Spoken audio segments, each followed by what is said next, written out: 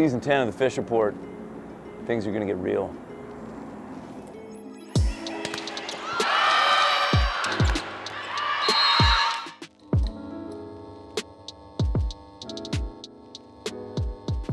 Hi, I'm Coach Dan Fisher. You're watching this week's Fish Report. I'm joined by Michael Fisher, our volunteer assistant. We are not related that we know of. Michael, welcome to the Fish Report. Tell everyone a little bit about who you are, where you come from, and what you're doing for us on staff. Hi everybody, uh, my name is Michael Fisher. I'm a volunteer assistant this year. Uh, I played at St. Francis University up in Pennsylvania, um, and I joined the staff in March. Um, just kind of learn the ropes and enjoy the time here. And uh, and so, what is for people that don't understand, like what what is a volunteer assistant, and like why would you do it? So a volunteer assistant, it's a tool kind of or an entry level position to kind of get into the coaching world.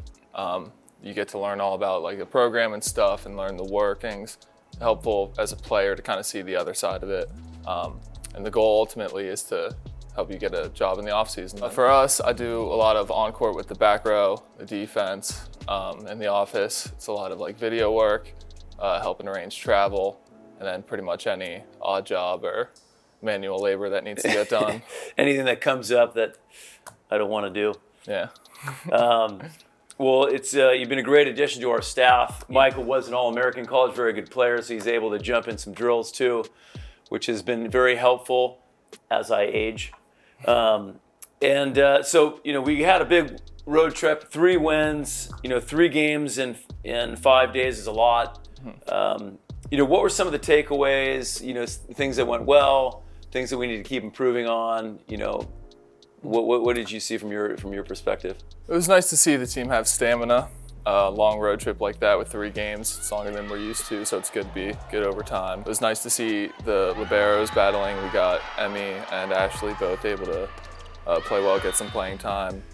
Uh, of course, um, just continuing to kind of be dominant for us and assert herself as one of the best players in the ACC over there on the right. Yeah, she's been she's been having a great season. One final question: Is it hard every time the, the players call me Fish?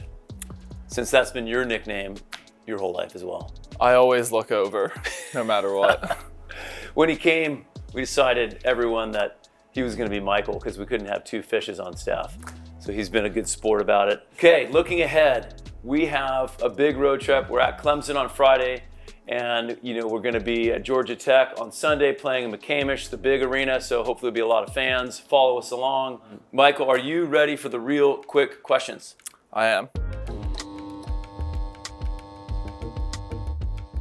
Is it more stressful to be on the bench or on the court playing?